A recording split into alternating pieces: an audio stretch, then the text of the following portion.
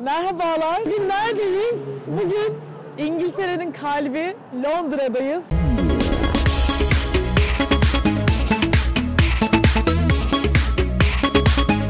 Tabii ki siz değerli takipçilerimle burada bir ürün incelemeden dönmek istemedim. Sizlerle bir ürün incelemesi videosu paylaşmak istedim. Tortilla diyebiliriz, lavaş diyebiliriz. Lavaş şeklinde bir battaniye. Onu inceleyeceğiz hep birlikte. Londra'nın çeşitli bölgelerinde bu battaniyeyle nasıl yaşarız, nasıl kullanabiliriz, kullanım alanları nelerdir Ee, bunu göreceğiz. Bakın elimde görmüş olduğunuz bu ürün yumuşacık, lavaş şeklinde harika bir battaniye. Beni bir dürüme çevireceğiz. Ee, Bunun için de bir alışveriş yapmamız lazım.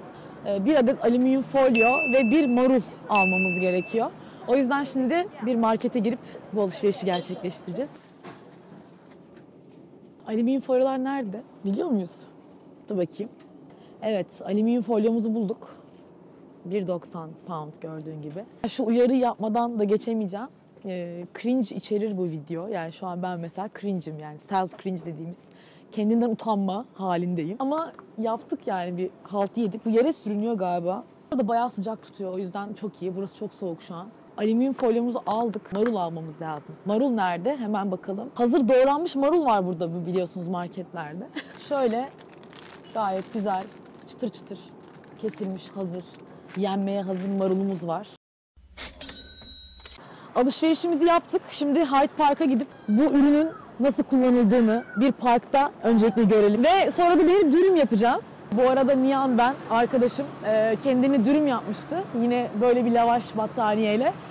Biz de onu Hyde Park'ta yapmayı deneyeceğiz. Beni alüminyum folyoya saracağız bacaklarımı. Ve biraz bana marul ekleyeceğiz. Hadi bakalım.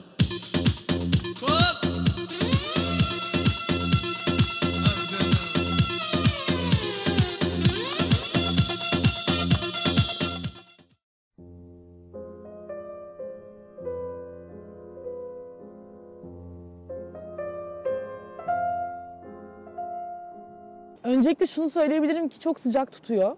Hava inanılmaz soğuk ama ona rağmen e, çok fazla üşümedim. Yani battaniyenin üzerimde olduğu yerler üşümedi. E, şimdi Hyde Park'tayız. Kuru bir zemin bulabilirsek beni dürüme çevirip e, sonrasında olaysız dağılacağız herhalde. Yağmur başlıyor bu arada. Harika. Asime baktı. Ya da şu, aa şuraya yatayım abi. Bankta yapalım. Yerde niye yatıyorum ki? Yağmur başladığı için şu an beni hızlıca bu bankta dürüm yapmamız gerekiyor. Peygamber Efendimiz nasıl yapar? Evet. Biraz marullayın beni. Marulsuz dürüm olmaz. Buradan nasıl kalkacağımla ilgili bir fikriniz var mı? Nasıl kalkacağım buradan? Marulları da döktüm. Kendimizi dürüme çevirdik bugün de. Şu an bu arada bayağı sıcağım yani. Burada kalabilirim. Çok rahatım yani. Üstüme bıçak koysanız şaşırmam. Kalkamıyorum. Şimdi çevre kirliliği tabii ki yapmamamız lazım. Marulları toplayacağız. Fırtına çıktı. Hmm, güzelmiş.